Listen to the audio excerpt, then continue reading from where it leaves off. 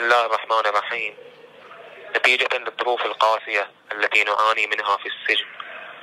وبالخصوص الحرمان من الحقوق الأساسية المكفولة وفق القوانين الدولية والمحلية والتي تنتهك بشكل مستمر وتحديدا منذ سنتين حيث تم وضعنا ضمن القيد الأمني المشدد في غرف خاصة دون إبداء أسباب واقعية لذلك. فنحن نعاني من التمييز الواضح في المعاملة دون بقية السجناء حيث تم وضعنا في غرف محرومين فيها من ممارسة شعارنا الدينية بحرية خصوصا الشعائر الجماعية كصلاة الجماعة والعزاء والدعاء.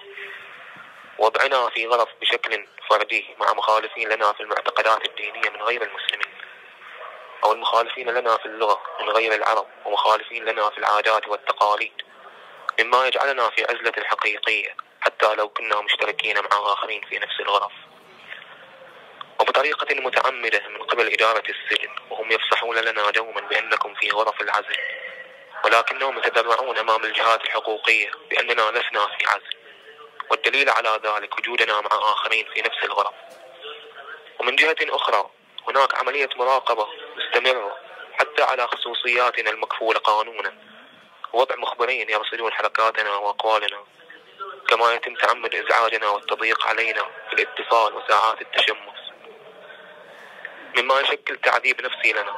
وعليه يطالب إدارة السجن بإعطائنا حقوقنا المكفولة قانونا عبر إخراجنا من الوضع الحالي والظروف المحيطة بها ودمجنا في غرف حسب تصنيفنا المعمول به في السجن أسوة بقية السجناء.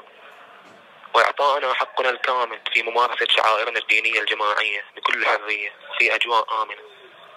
ولذا ندعو الجهات المعنية للاستجابة لهذا المطلب الإنساني. وعليه قررنا في حال عدم الاهتمام بمطلبنا اللجوء إلى القيام بإضراب مفتوح عن الطعام بتاريخ 15 8 2019 احتجاجا على هذا الوضع المتردي. ونطالب الجهات المهتمة بحقوق الإنسان القيام بواجبها الإنساني أمام مطالبنا العادلة.